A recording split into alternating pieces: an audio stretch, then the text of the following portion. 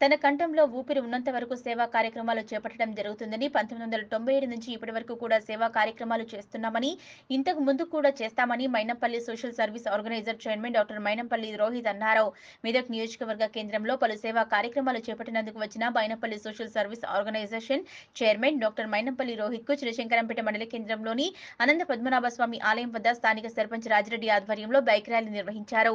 మెదక్ చేగుంట రహదారిపై అనంత పద్మనాభ స్వామి ఆ దేవాలయం సమీపంలో డాక్టర్ మైనంపల్లి రోహిత్కు మంగళహారతులతో ఘన స్వాగతం పలికారు. సుమారు వెయ్యి బైక్లతో మెదక్ తరలి వెళ్ళారు. అనంతరం మార్కెట్ కమిటీ మాజీ chairman Ganga Narender Madanapalli social service organisation chairman doctor Mynampally రోహిత్లో మాట్లాడుతూ చినశంకరంపేట మండలంలో స్థానిక నాయకత్వం లోపించినందున కొత్త రకాన్ని కొత్త నాయకుడిని కోరుకోవడం జరుగుతుందన్నారు. ద్వారా కార్యక్రమాలు చేస్తా ఉన్నాం చేపడతా ఉన్నాం.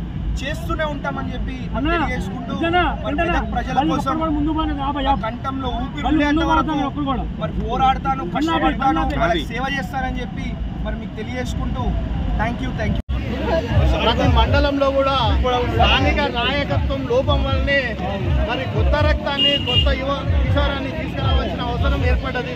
కాబట్టి ఈరోజు మరి స్థానిక శాసనసభ్యురాలు గుర్తించక మరి కొత్త ముఖం కావాలని కొత్త నాయకత్వం కావాలని ఈరోజు ఉత్సాహంతో ఊపిరితున్నారు మరి యువత అంతా.